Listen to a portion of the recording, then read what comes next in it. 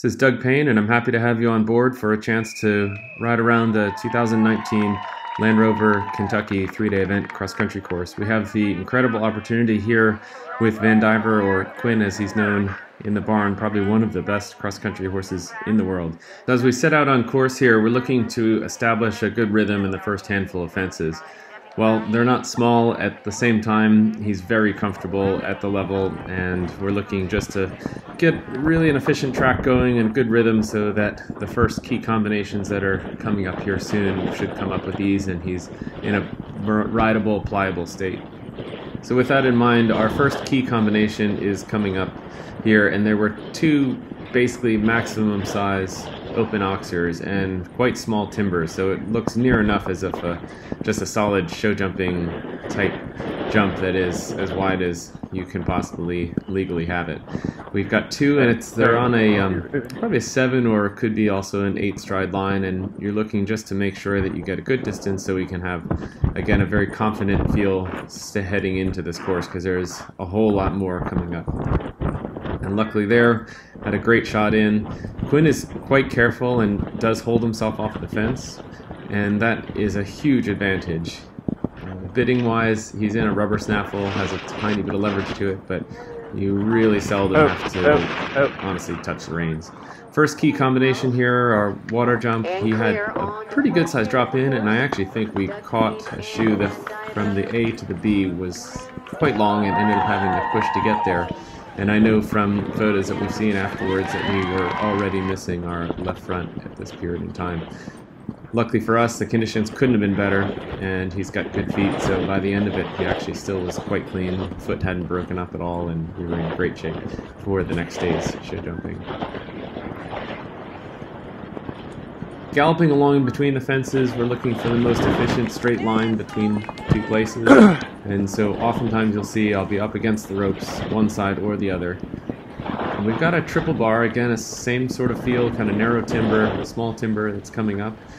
I'm just going to hug the ropes here and end up just clipping the right side of it, always thinking if I can be a touch on the inside track, it's just going to save a few extra meters of space and allow us to be up on the clock even that much easier. And so coming oh. up here, we've got a turning combination, quite a large table, and then a drop landing. And knowing Quinn, he tends to cut down a bit early, and that first stride away is quite small. So from A to B, I wasn't really strictly looking for any particular stride. From the B to C, it did work out in a five stride, which was our intent coming in. And I would tend to think with cross country, the striding, I'll walk it, certainly have a pretty good idea of what your plan A would be.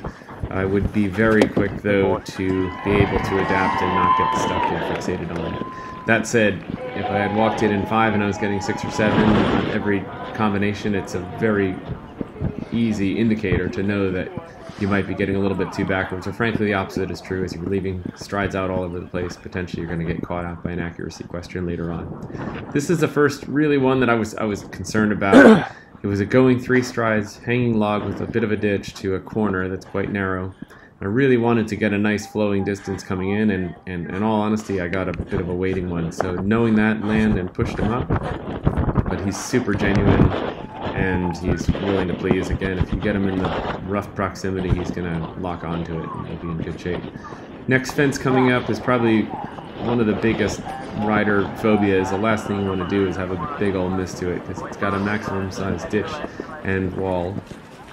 And the photos they get from the base of it are pretty epic. But ended up coming down here, and from here we got a good distance, and that's always a huge relief. Jumps over that. Quinn's not bothered by ditches at all. He really could care less.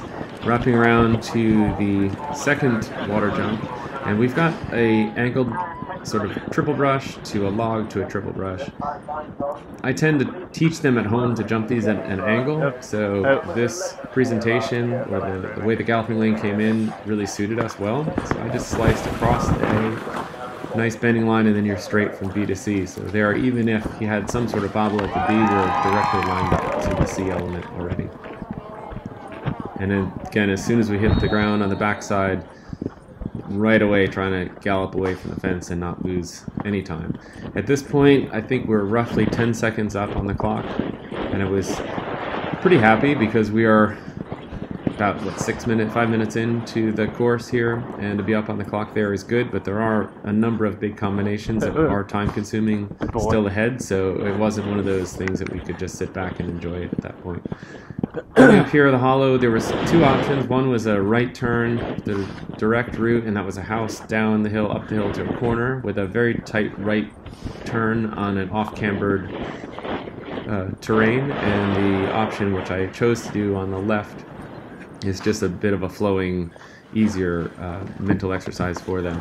The nice part about it, it was not much longer at all, although by distance it seemed as if it should be. We went up there in the first couple horses, and I knew I'd, uh, Buck Davidson was going. I knew he was going long, so we went up, timed him, and we timed uh, some of the others that went straight. And from my best estimation, it probably cost us two seconds worth. But the key factor with Quinn is that he has a history of sliding out behind on tight turns, and there were already a couple of horses that did. One fell, and we had a couple others that did slide out behind before I went out on course. So at that point, it made the decision easy.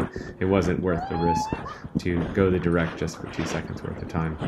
And as you can see again, hugging the fence here, my goal is nearly to be able to stirrup on the posts. And we've got a, a, nice good gallop here, and it's a chance for him to recover. A bit of a downslope, a bit hard to see in that regard. Turning here, we've got two stumps that are on a longer three-stride line. And again, he's very good with accuracy questions, so I took a bit of a sweeping turn into it and then got him lined up. And just a touch long in the three, but again, he's a very good jumper, so not something to be too bothered by. We're heading down toward the head of the lake. We've got one big open oxer and then right into it.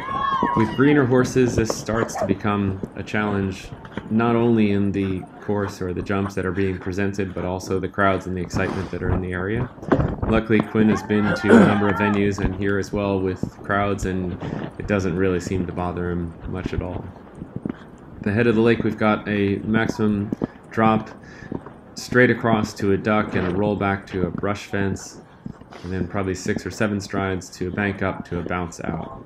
And so as we get Easy. a bit closer, my line, my Easy.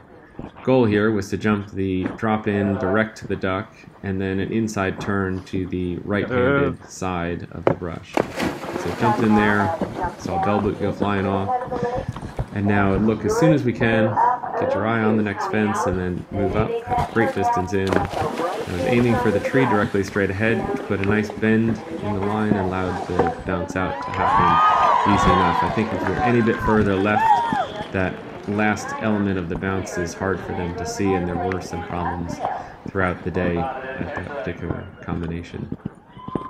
Again, nice galloping section here, and we've got a Trakehner that's coming up, and then one of the other key combinations that had a big influence on the day. There was a direct route straight ahead that was a bank up down to a corner, and then there was also a longer route to the right. I ended up choosing the longer route to the right, but I did do a bit of a shortcut. In walking it, there was a flower bed and a statue, and I actually walked it from the edge of the flower bed. It was a perfect two strides to the triple brush, and as we said at home, I tend to jump them on an angle, so it was a very familiar, easy thing for him to process, understand.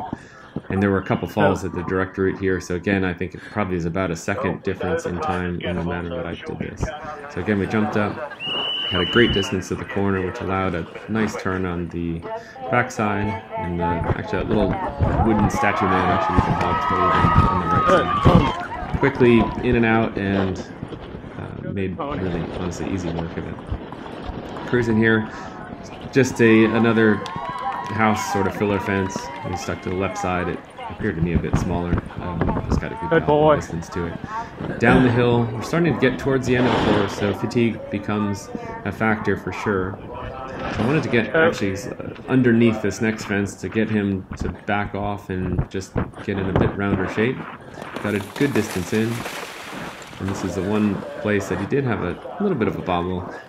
Decent shot in, and all of a sudden he went to put down early behind, which kind of left us dead in the water and had to kick up towards the out.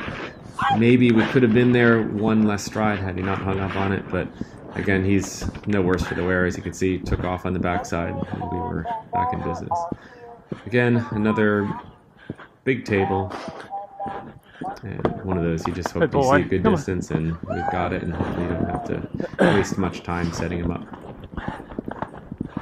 So as we're going across here, we're heading now towards the end of the course and although we've been here a number of times in the past, this was a section in the course historically that Quinn would actually start to get quite tired.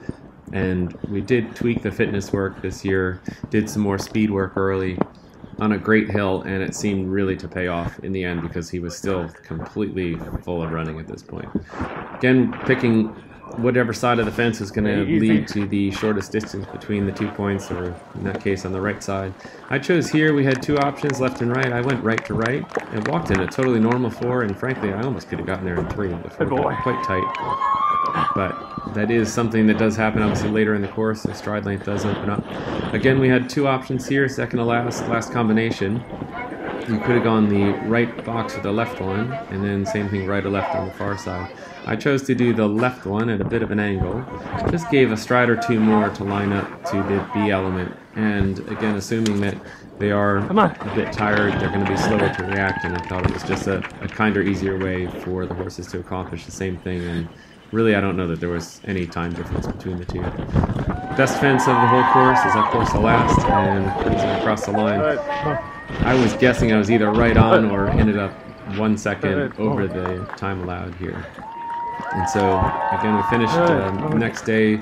He jumped a double clear show jumping to finish in fifth place and national reserve champion. So before we depart, I want to thank, of course, Jess there, my wife. Uh, Mom pops up here, and then Courtney Carson, um, who looks after Quinn on a daily basis. And you see Lila in the background there.